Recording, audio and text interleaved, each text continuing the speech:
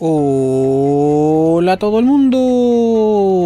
Sean bienvenidos a una nueva edición de Congreso en Resumen, aquí por el canal Proyecto Chile. En esta oportunidad quiero comentarles acerca de cuáles fueron los asuntos tramitados en la sala de nuestro Senado el día miércoles 4 de mayo del año 2022. Hubo dos sesiones, una especial y otra ordinaria que se suscitaron durante el transcurso de esa tarde. La primera de ellas tuvo como objeto ocuparse del oficio presentado por la vicepresidente de la República por el cual le solicitaba el acuerdo al Senado para designar al señor Rodrigo Cid Santos como director del TVN por el periodo restante correspondiente a la vacante que se señala. Esto se pudo tramitar dado que el informe fue despachado por la Comisión de Educación y Cultura y se recibió el certificado respectivo. Y lo que se suscitó fue que el Senado acordó que esta persona ahora pase a integrar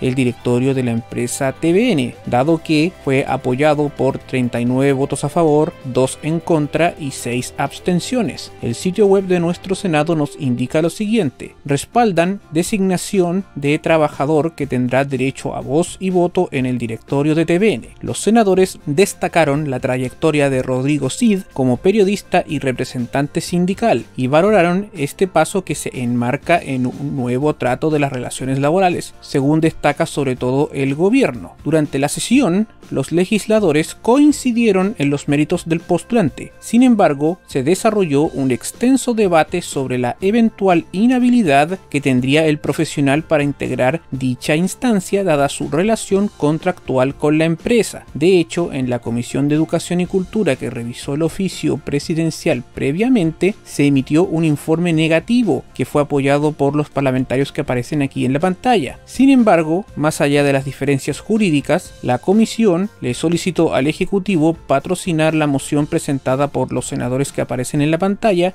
que modifica la ley que crea la empresa de TVN con el objeto de otorgar derecho a voz y voto al representante de los trabajadores en el directorio. Y acordémonos que esta moción fue declarada inadmisible en la sesión ordinaria del 3 de mayo, que también se los consigné aquí en Canal Proyecto Chile. Frente a esto, la titular de la Secretaría General de Gobierno, Camila Vallejo, reconoció que van a presentar un proyecto similar porque quieren asegurar que en toda empresa del Estado todos los trabajadores tengan representación en el directorio, hablando de voz y voto. ¿Y qué es lo que ocurre? En esta sesión también la Secretaria de Estado dijo que había que separar las aguas. Por una parte, se encuentra el proyecto presentado por los parlamentarios en torno a que el representante de los trabajadores tenga, además de voz, derecho a voto en el directorio y otro asunto tiene que ver con que el gobierno de turno pueda presentar nominaciones al directorio de TVN de trabajadores de dicha corporación, extrapolándolo también a otras empresas del Estado. Entonces, este va a ser un debate que se va a generar más adelante si es que esto queda bien para que no se susciten más este tipo de controversias. Ahora, este tema de la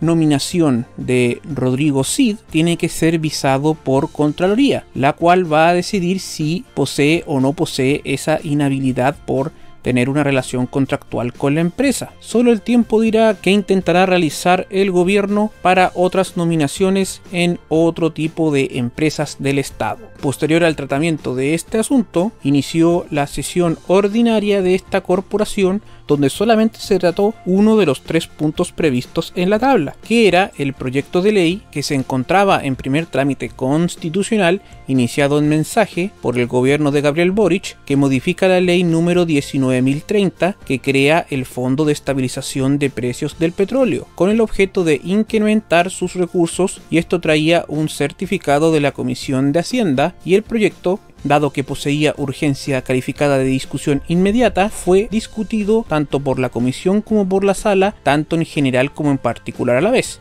y este certificado se recibió en la sala de esta corporación, por lo tanto se pudo tratar esta iniciativa, la cual fue aprobada de manera unánime por esta corporación, obteniendo 39 votos a favor. Por lo tanto, este asunto ahora pasa a segundo trámite constitucional hacia nuestra Cámara de Diputados. Lo que indica el sitio web de nuestro Senado es lo siguiente. Precio del litro de parafina estará a mil pesos hasta septiembre. El proyecto que fue despachado de forma unánime apunta a incrementar el Fondo de Estabilización de Precios del Petróleo, también conocido como el FEP, y atenuar las alzas de uno de los combustibles más usados en los meses de invierno. Tal como ocurrió con el MEPCO, el mecanismo de estabilización de los combustibles usados por el transporte, el Ejecutivo se comprometió a suplementar el FEP creado en 1991, pero que tras la modificación realizada el 2011 quedó solo afecto el querosén doméstico o parafina. Cabe recordar que a diferencia de las gasolinas, este combustible doméstico no tiene impuesto específico. Y con esto también se dio luz verde a esta iniciativa que suplementa al FEP en unos 40 millones de dólares. Tal como les consigné anteriormente, el resto de la tabla no se pudo ver y para finalizar esta sesión se realizó la tradicional hora de incidente. Entonces, antes de finalizar este video, quiero recordarles que todas estas tablas tentativas se encuentran en el Twitter de Canal Proyecto Chile que es arroba canal